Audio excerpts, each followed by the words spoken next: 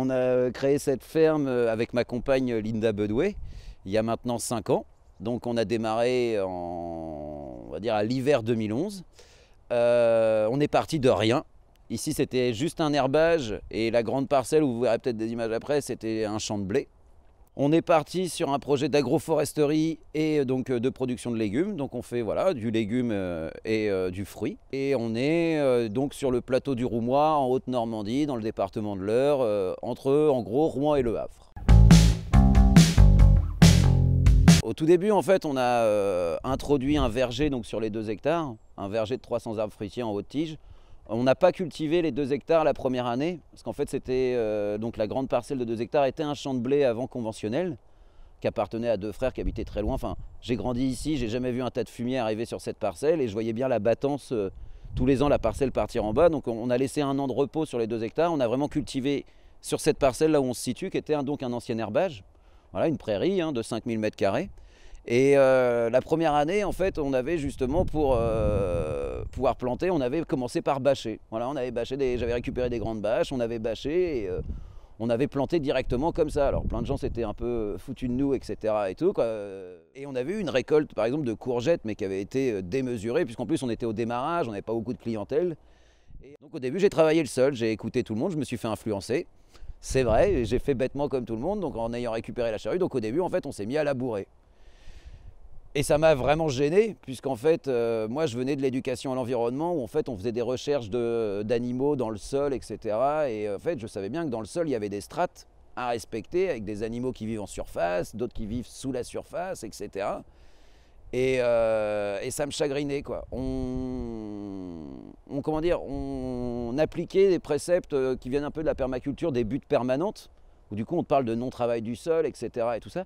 Donc sur des petites parcelles, on arrivait euh, à plus ou moins bien le gérer, sous les serres, etc. Et tout, mais c'est vrai que sur les deux hectares, je voyais ça un peu euh, tellement grand que euh, j'avais du mal à maîtriser en fait le système.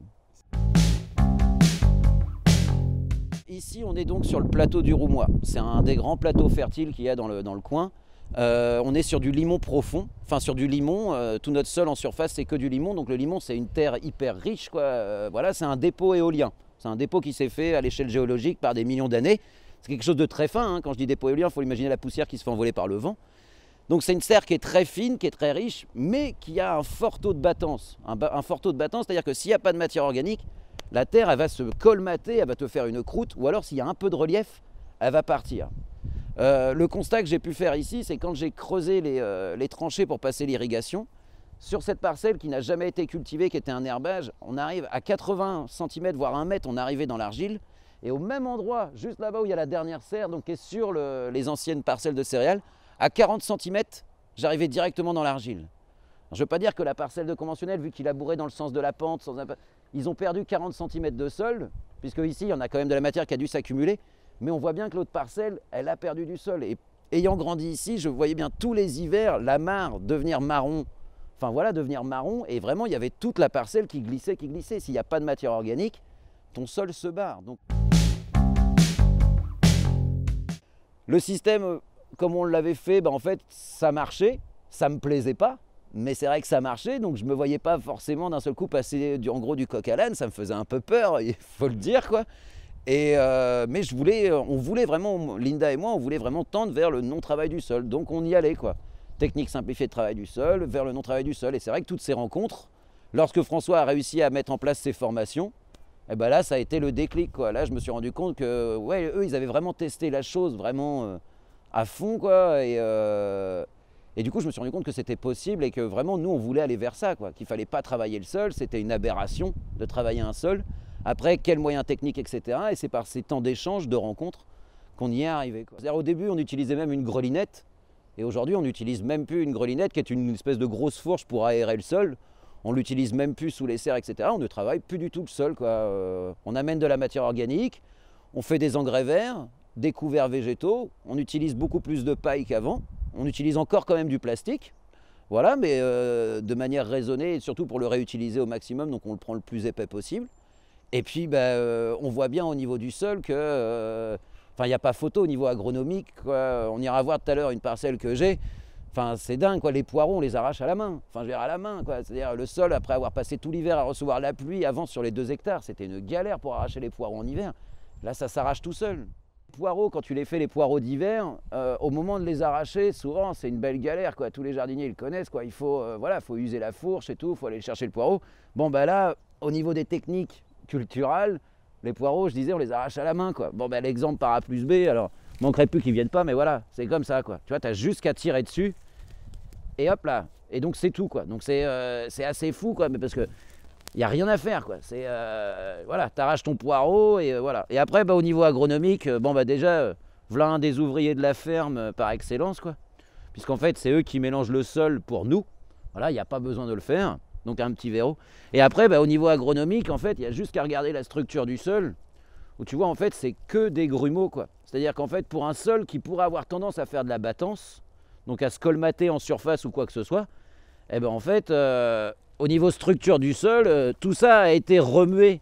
Tu vois, je vais écarter un peu tout, quoi, mais tout ça a été remué que par les animaux, que par les vers de terre, quoi. Donc en gros, euh, il y a des machines qui arrivent à te faire une terre aussi émiettée, mais qui du coup vont défoncer toute la structure du sol, ne pas respecter les strates.